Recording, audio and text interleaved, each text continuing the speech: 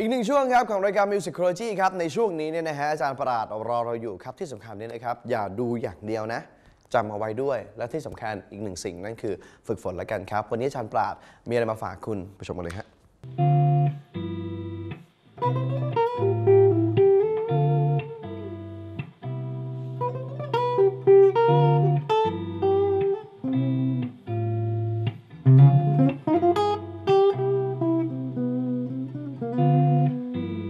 สวัสดีครับ ผมจานปลาลุงรังสีครับ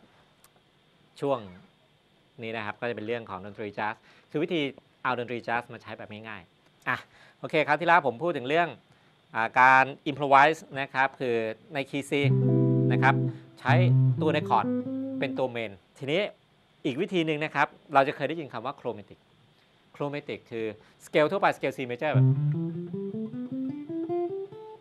เขาเรียก scale diatonic นะครับ diatonic หมายความว่า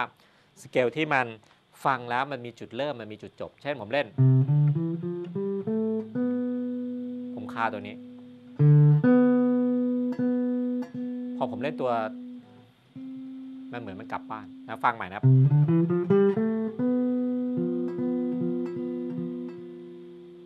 พอจบเออสบายใจกลับถึงบ้านผ่านรถติดมานะครับ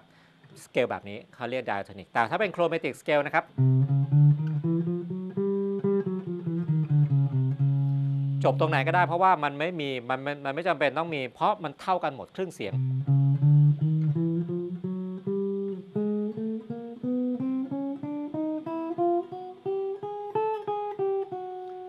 มันไม่มีความเป็นโฮมไม่เหมือนเมเจอร์สเกลม i เนอร์สเกลถ้าผมไม่ลง นะครับ ผมแต่งเพลง ผมเล่นผมเล่นเพลง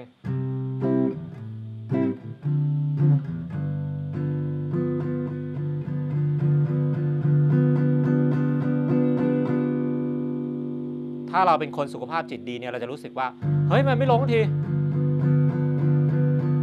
ไอ้วงนี้มันแต่งเพลงบ้าอะไรมาเนี่ยเอ้ยสบายใจนะครับ ทีนี้ เรื่อง chromatic scale นะครับจะเอามาใช้กับไอดนตรีแจ๊สยังไงนะครับ เพราะแจ๊สเนี่ย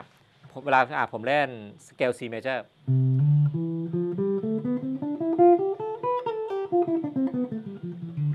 นะครับผมลองใส่ chromatic เข้าไปบางบางตัวนะครับ ผมเล่น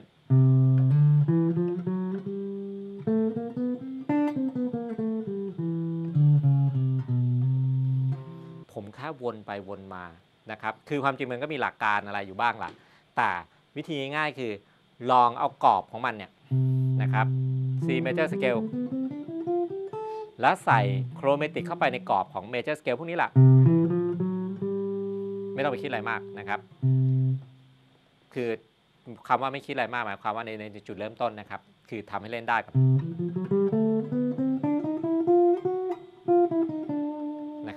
มันก็จะทำให้คุณมีเสียงโครเมติก สมมติผมเล่นใช่ไหมครับกับผมเล่นนะผมที่ว่าจะ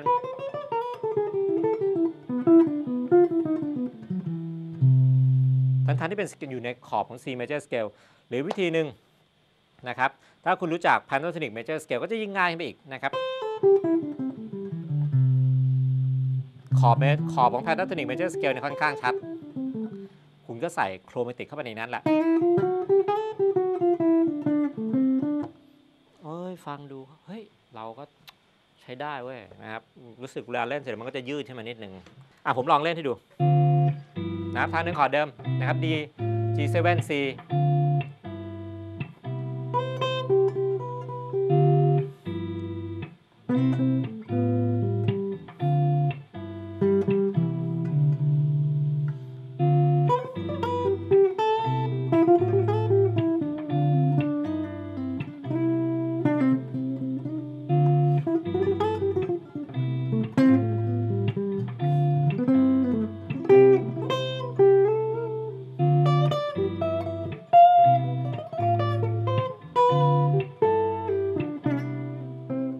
สร้างความมั่นใจ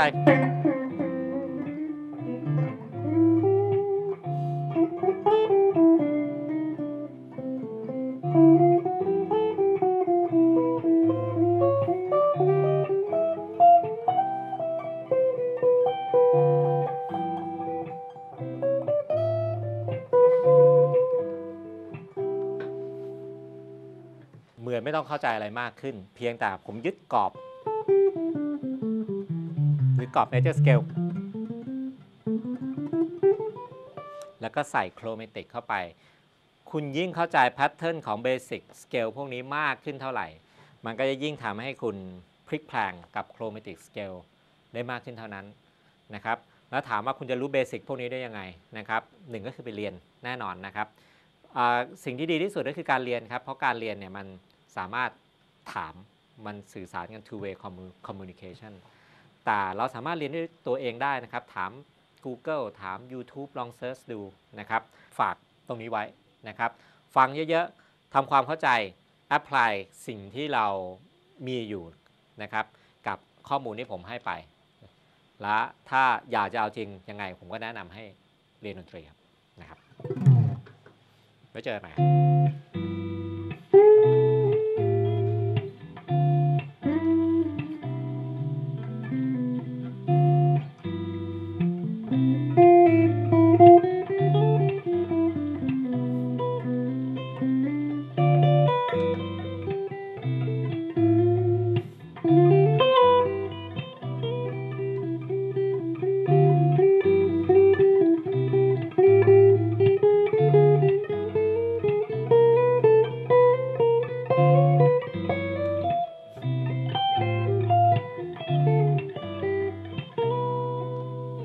นี่แหละครับเทคนิคจริงๆ จากอาจารย์ปราดครับจากสถาบันสอนดนตรีปราดมิวสิกขอบคุณมากครับอาจารย์ปราดครับก็ยืนไว้กันเอาไปฝึกฝนกันด้วยนะฮะช่วงนี้เบรกสักครู่ช่วงหน้าเครื่องดนตรีเจ๋งรอคุณอยู่ อย่าไปไหน อยู่ด้วยกันที่นี่ Music Quality ครับ